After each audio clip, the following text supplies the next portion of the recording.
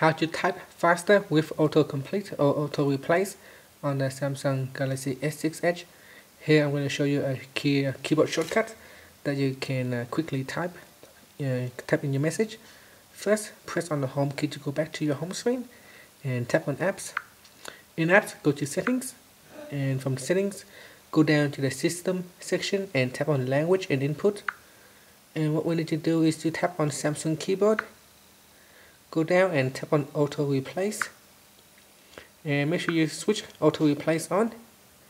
Now you also need to switch on the language that you want to use the auto replace. Once it is turned on what we do is we're going to open up an, an app to uh, test it out. So here it is. So this is a an important so want to type in the word important now you can see here it shows important and all I have to do is just tap on the spacebar and it will automatically complete or replace that word. So I can tap in test so this can show so we can use that word.